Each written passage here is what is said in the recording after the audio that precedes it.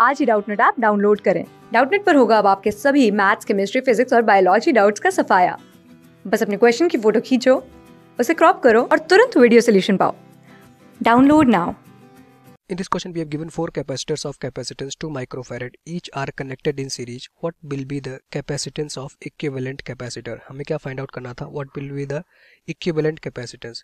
Question में given है four capacitor of capacitance two microfarad are connected in series तो यहाँ पे चार कैपेसिटर है सीरीज़ में कनेक्ट है। तो सीरीज़ मतलब कि एक वायर लीजिए, उसी सिंगल वायर से चारों कैपेसिटर को कनेक्ट कर दीजिए। देखो, मैंने एक वायर लिया, चारों कैपेसिटर को इस तरह से कनेक्ट कर दिया। और ईच कैपेसिटर की जो कैपेसिटेंस है वो हमें गिवन है टू माइक्रोफेरेड ठीक, यहाँ पे देखो, पहले वाला जो कैपेसिटर इसकी वैल्यू कितनी है? टू माइक्रोफेरेट दूसरा भी टू माइक्रोफेरेट तीसरा भी जो कैपेसिटर होगा, उसकी वैल्यू कितनी आएगी? टू माइक्रोफेरेड और चौथा भी टू माइक्रोफेरेड तो इस तरह से हमारे पास चार कैपेसिटर है सीरीज़ में कनेक्ट है। अगर मैं मान लो इसमें इस तरह से यहाँ पे इनके अक्रॉस एक वोल्टेज अप्लाई कर देता हूँ तो इसमें जो करंट फ्लो करेगी और चारों कैपेसिटर में इक्वल करंट फ्लो करेगी मतलब वो सीरीज़ में कनेक्ट थे क्लियर अब यहाँ पे देखना, अगर इस तरह से चार कैपेसिटर सीरीज़ में कनेक्ट है तो उनका जो इक्विवेलेंट कैपेसिटर आता है वन अपॉन सी इक्विवेलेंट उसकी वैल्यू कितनी होती है? One upon C one plus one upon C two plus one upon C three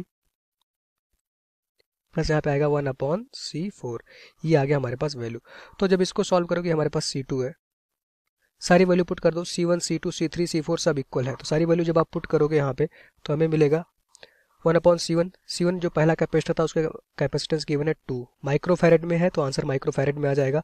दूसरा भी हमारे पास टू था तो वन अपॉन टू तीसरा जो कैपेसिटर था, उसकी भी वैल्यू कितनी गिवन है? टू माइक्रोफेरेड तो सी थ्री भी वन अपॉन टू हो जाएगा। सी फोर कितना है? टू माइक्रोफेरेड तो जब इसको सॉल्व करोगे तो वैल्यू आएगी हमारे पास देखना फोर यहाँ पे आएगा हमारे पास देखना one upon C equivalent is equals to ये आ जाएगा फोर बाई टू हमें तो सी इक्विवेलेंट की वैल्यू कैलकुलेट करनी थी.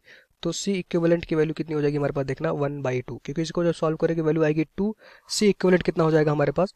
वन बाई टू तो यहाँ पे आ गया हमारे पास ये सी इक्विवेलेंट की वैल्यू यही हमारे इस क्वेश्चन का आंसर हो जाएगा.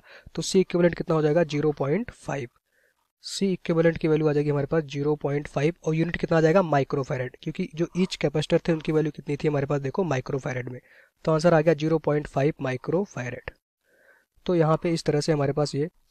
अगर ऑप्शन चेक करोगे तो ऑप्शन नंबर थ्री इस क्वेश्चन का राइट आंसर हो जाएगा। थैंक यू क्लास सिक्स से ट्वेल्थ से लेके NEET I I T JEE mains और एडवांस के लेवल तक। दस मिलियन से ज़्यादा स्टूडेंट्स का भरोसा।